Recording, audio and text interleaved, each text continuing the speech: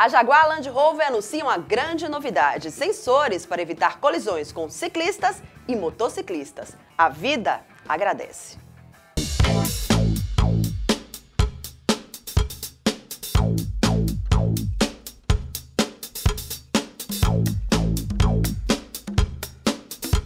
A Jaguar Land Rover está desenvolvendo uma série de tecnologias que usa cores, sons e vibrações dentro do carro para alertar o motorista de potenciais acidentes envolvendo bicicletas e motocicletas. Os sensores presentes no carro irão detectar quando um ciclista estiver se aproximando. No entanto, em vez de usar um alerta comum que pode confundir o motorista com outro alerta do carro, o sensor de bicicleta usa luz e som, o que faz o condutor associar rapidamente com situação de perigo.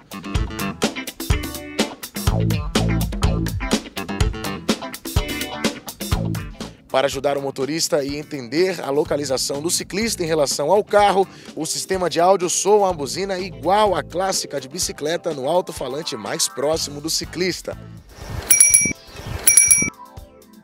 Desta maneira, o motorista instintivamente saberá a direção de onde vem a bicicleta.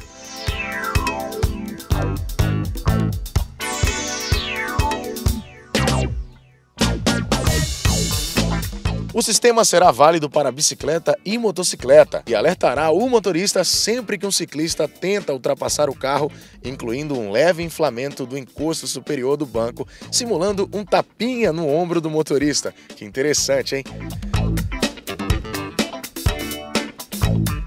A ideia é que o condutor do carro rapidamente olhe para a direção do ciclista para identificar o alerta. Quando o ciclista chega perto do carro, acendem-se luzes ambar LED na janela, no computador de bordo e no para-brisas.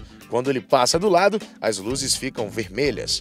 O movimento das luzes acompanha o movimento do ciclista. O sistema também irá identificar perigos difíceis de serem vistos pelo condutor do carro.